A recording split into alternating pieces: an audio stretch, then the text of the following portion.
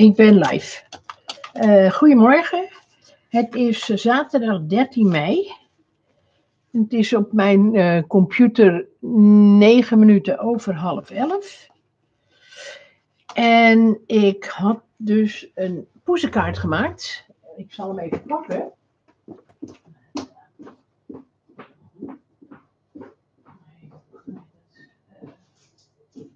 Zo.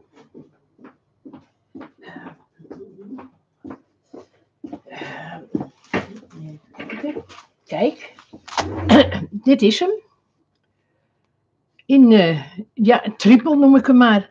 Want je hebt dus uh, drie ja, modelletjes, uh, vormen. Heb je. Goedemorgen allemaal. En nou dacht ik van, ik heb ook nog een hexagon, een zeshoek. Nou, dit is al een hele oude stand, die heb ik nog nooit gebruikt. Dan heb ik deze genomen. En deze twee die komen van een Sissixmal. Toen dacht ik, ik ga een kaart maken, nog met de restanten van dit papier, met uh, zo'n zeshoek. Nou, zoals jullie zien heb ik al het nodige voorgesneden. Maar ik zal even overnieuw beginnen. Ik doe dit allemaal even weg. Bij elkaar. En dan zal ik even laten zien hoe ik deze gemaakt heb. En uitleggen, je kan dat ook met een vierkant, met een cirkel, met een ovaal, wat je hebt. Kijk, dit is de kaart. Zo. Nou, ik heb hem hier nog niet helemaal af. Je neemt een, uh, een kaart van 30 bij, uh, deze is 15 centimeter, deze is 14 centimeter. Ik vond het toch een beetje handiger met opbergen en zo. Dan neem je een malletje. Nee, je gaat eerst rillen op 5, 10, 15, 20 en 25. Je kan uh, ook kleiner doen, maar dan kom je niet altijd goed uit met je malletjes. Want deze is bijvoorbeeld 9 centimeter. Kijk, ik leg hem even op mijn mat.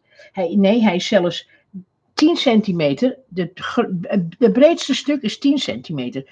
Nou kan je hem zo gaan gebruiken. Dan heb je wel ruimte, maar ik vond dat niet zo leuk. Ik denk, ik doe het zo. En wat heb ik gedaan? Ik heb dus deze mal.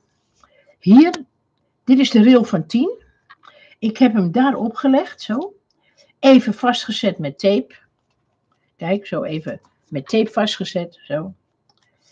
En toen ben ik dus met een potlood hier langs deze rand gegaan, tot aan de rillijn. Toen heb ik mijn liniaal genomen, omdat dit uh, met een uh, recht bovenkantje is dat makkelijker.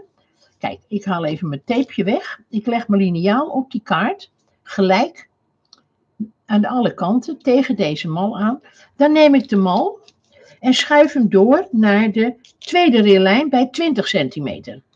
Dan leg ik hem ook weer neer, zo. Ik plak hem weer vast. Ik teken hem weer na. Ik schuif mijn papier even op. Dan leg ik mijn liniaal weer netjes tegen de mal aan. Dat kan je dus doen met een uh, rechte, kan ook met een ronde hoor. Daar niet van, maar... Ai. En uh, dan schuif ik dus deze mal nog een keer op. Hier naartoe. Nou, oh, Leootje. Niet doen. Dankjewel, hè. En dan zet ik hem hier ook vast en teken hem hier ook na. Dus dat kun je dus doen met vierkantjes. Die kun je ook handmatig tekenen natuurlijk. Dat kun je doen met cirkels. Ik heb het bij deze met cirkels gedaan, zoals je ziet. Kijk, dan ligt die cirkel dus hier tegenaan, daar en daar. Nou, dan kom je aan het einde. Dat is ons eh, andere hondje. En die, dat is een kleine dwingeland. Uh, als het niet snel genoeg naar meneer zijn zin gebeurt, dan, nou ja, dan hoor je hem wel. En hij is al ruim tien. Ik denk dat hij zelfs bijna elf is. En, maar het is een hartstikke lief diertje. Kijk, nou gaan we dus even, ik keer hem even om omdat ik links ben. En dan ga ik dus deze twee stukken, die van de laatste punt, die ga ik afsnijden op de rillijn. Dit gaat weg en deze gaat weg. Nou kan het zijn dat ik hem niet helemaal goed heb doorgesneden. Zo. En deze moet ook zo. Kijk. Nou, dan hebben we dit. En wanneer je die nou gaat opvouwen, zo, en zo, dus op die tussenrillijnen van 5 centimeter, dan krijg je dus dit. En dan heb je, als het ware, dezelfde model als van de mallen die je kunt kopen. Eh, maar als je dat dus, die mallen niet hebt, dan kun je toch zo'n kaart maken. Deze rillijnen die hier doorheen lopen, die zijn niet erg. Want ik heb dus met mijn uh, heb ik in eerste instantie een malletje gemaakt om te kijken hoeveel of hoe groot wordt die poes. De kop van de poes. En nou is het zo dat uh, deze zwarte mat, de zwarte mat, die heb ik gestanst met uh, een kleinere maat. Met deze. Ja, dit is een, een, een oude stand van Sissix, maar je hebt hem ook van Marianne en misschien ook van een ander merk. Goedemorgen allemaal, wat leuk. Zo, jullie zijn weer uh, lekker uh, bij de vroeg erbij. Uh, en toen heb ik dus deze kleinere, maar ik vond die afstand zo groot. Want kijk, uh, deze mallen van Sissix die snijden echt aan de binnenkant. Dus daar zit het snijgedeelte niet op de helft van de basis, zal ik maar zeggen. Maar echt aan de kant. Dus als je hem omkeert, dan kan je precies zien wat je uitsnijdt. Nou, dan vind ik die afstand te groot. Dus wat heb ik gedaan? Ik heb deze mal op mijn papier gelegd. En ik ben met een potlood langs de buitenkant gegaan. En dan heb je een andere uh, afstand van uh, matrand. Kijk, dan krijg je zo'n soort matrandje. Ik zal hem even op het wit leggen. Dan kun je dat dus mooi zien. Nou, ik heb, um, hier heb ik dus ook drie poesen. Twee kijken die kant op, één kijkt die kant op. Maar er zitten zoveel poesen in het pakket. Hè, dat ik heb dus even andere gepakt. Uh, deze bijvoorbeeld. Die, die komt dan straks hier. En dan heb ik hier een, een kitten. Ook heel erg leuk. Zo. En die komt dan hier. En dan hebben we er nog één. Die zit er zo'n beetje tussenin. Die kijkt dan vooruit. En die komt hier. Nou, nou hebben we dus ook nog een mat nodig. En eh, van het papier waar ik die poezen van heb gesneden, heb je aan de zijkant vaak nog ruimte over. Dus ik heb stukjes van de, hetzelfde vel waar die poezen uitkomen, uh, heb ik dus op uh, 5, 4,5, 4 centimeter breed gesneden. En de kaart is 14,5. Uh, 14. Het zwart is 13,5 en dit is dus 13 centimeter. Nou, nou gaan we dus deze matten eerst hierop plakken. Ik ga het wel eventjes doen. Ik zal even lijm pakken. Dan, uh, zo. Petra, oh, we hebben, have, oh, wacht even, ik moet even kijken, want er zit iets voor. We hebben sinds 92 katten en we hebben er ook, ja, ik heb wij hebben er ook nog één. We hebben er ook een heleboel gehad. Hoe groot is het papier? Uh, Annie, dat is dit papier. Dat is 15,2 bij 15,2. Uh, nou, ik zal het nog eventjes laten. Ik heb het al een keer laten zien, geloof ik, maar goed. Uh, op de top heb ik het zo. Nee, wij hadden, nou, we hebben al met al Tijger, Dikkie, Amanda, 2, 5, 7. Nou, we hebben er ook een stuk of 11 gehad in de afgelopen tijd. Kijk, we zitten, deze kat zit erin. Ja, het zijn echt plaatjes hoor. En dan hebben we deze. En alles zit er drie keer in. Nou, dan hebben we dus deze kat. Kijk, en dan heb je dus hier aan de zijkant, want als ik dan eventjes dat kleine malletje erop leg, zo, zie je wel? En ik heb hem hier nagetekend, hou ik hier een stuk over. Nou, dat stukje, dat komt dus aan de zijkant. Kijk, dan hebben we die. Nou, dan hebben we deze. Nou, en als je dan bijvoorbeeld dit plaatje neemt en je legt hem er zo op, dan krijg je aan deze kant een strook die je overhoudt. Deze is nog niet aangebroken, deze verpakking. Die heb ik ook gebruikt op de cirkelmal. Met die cirkel. En ja, die cirkel was wat groter, dus ik had hier wat minder. Maar uh, dat is maar net hoe je je malletje erop legt. Nou, deze hebben we dus gebruikt. En deze. Zie je wel? En dan hebben we die nog. En dat zit aan de achterkant ook nog één. Dus, dit zijn dus de poezen. Allemaal. En, uh, maar je ziet ze al heel veel voorbij komen. Hè? Um, even kijken, we hebben mijn zakje gelaten hier. Ik ga ze eventjes netjes... Oh. Uh, mijn loterijbriefje. Ik heb weer een keertje meegedaan met de staatsloterij. Vorig keertje, ik denk, nou, klein prijsje gewonnen. Dus moet me zo nog even innen. Um, nou, ik ga eventjes verder met, nou zijn deze twee stukjes van nieuw papier gemaakt. Want ik had niet meer. Doordat ik al natuurlijk het nodige had gebruikt. En dan heb ik, ga ik eerst even die matten opplakken. En dan zal ik, want het is dan meteen, oh wacht even. Oh, hij is verstopt, hij is verstopt. Ik heb hem te lang open laten staan. Dat is een beetje dom. Even kijken of ik het eruit krijg. Ja, ik moet even een naaldje pakken.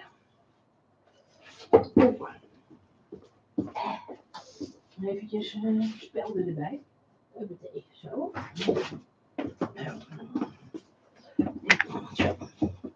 Ik heb hier zo'n uh, zo'n stukje rubber.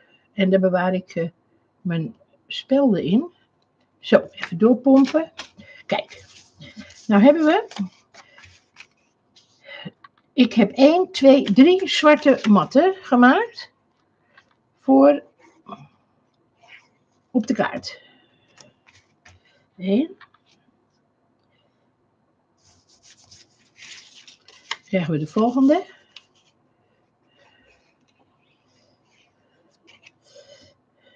En ik moet eerlijk zeggen, dit is nog een restje. Uh, Roma papier, de dunne. Daar had ik nog een stapeltje van, niet veel meer. Dus, maar ik dacht, hé, hey, dat vond ik toevallig. Ik denk, zo, kan ik mooi opmaken. Kijk, en hebben we er nog één.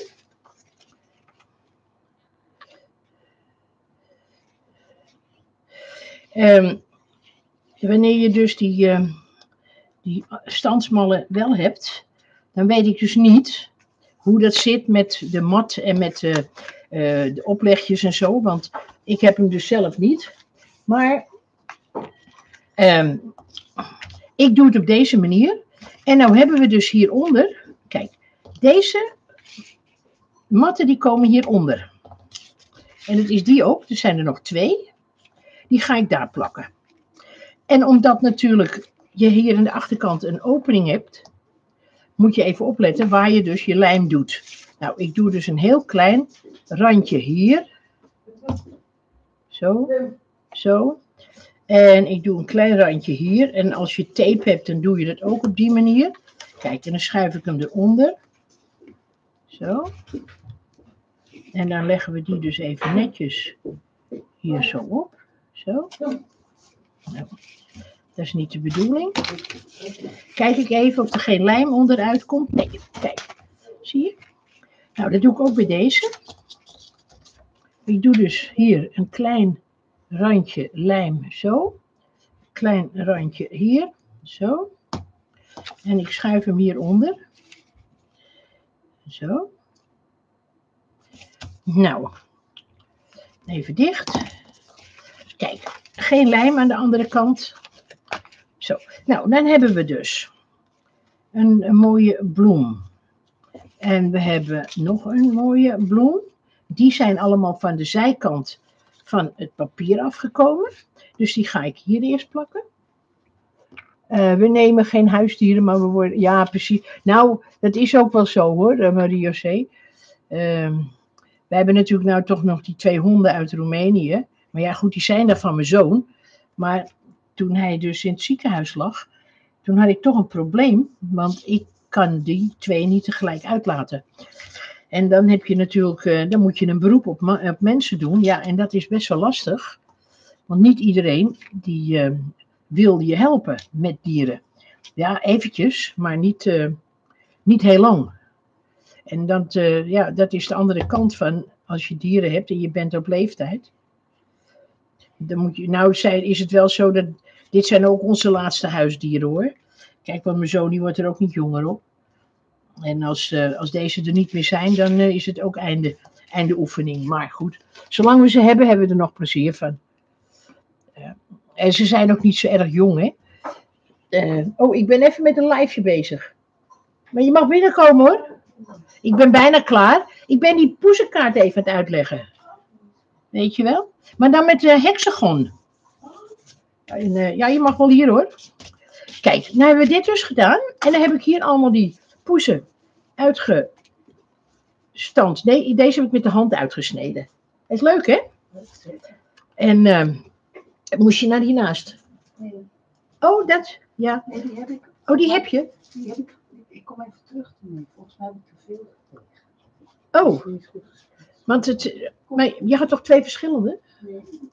Of had je er maar één? Ja. Oh, van de week was er ook iemand, die heeft ze ook meegenomen. Oké. Maar die andere, er staat ook een andere, want ik heb er maar twee, hè? Die eh, nostalgie of zo heet die, geloof ik. Zo. Nou, kijk, dan hebben we hier dus poes nummer 1 en die komt hier. Want die kijkt die kant op, hè? Dat was dat. Oh, die was die kitten. Even kijken. Ja, kitten die kwam hier.